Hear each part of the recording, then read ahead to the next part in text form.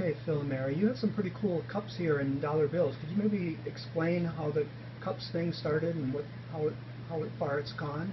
Yeah, it's a little fluky thing. We had some small cups we hung up, and the customers seen it, so they decided they'd like to hang, bring a cup in and hang them. So therefore, we ended up with 466 cups so far.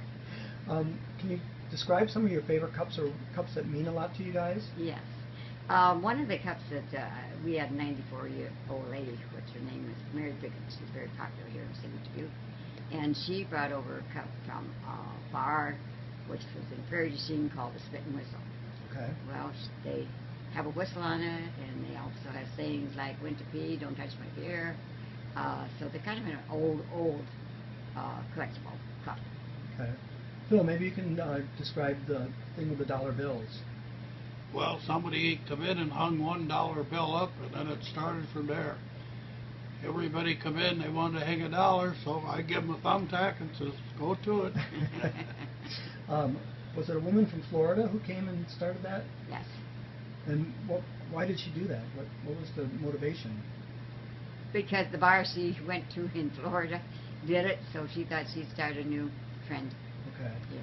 And what do you like about the bar the most? People.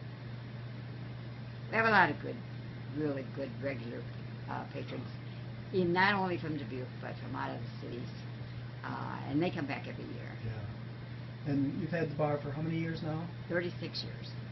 Is there a chance that you're going to sell it soon, or is this something that you want to just keep doing? Well, we plan on doing it at the end of the year at least. When we'll see what happens. We'll find somebody that will uh, buy it. It's be a turnkey operation, and uh, all they'd have to do is come in and make some money. Things are a little older, but this is what the bar is all about. Yeah. History.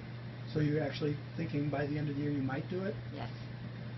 You know, a young guy coming in here, he's going to have to put some hours in, but uh, he could make a decent living. Yeah. It's- The town downtown won't be the same without the lounge if it's not the same. That's Right? Mhm.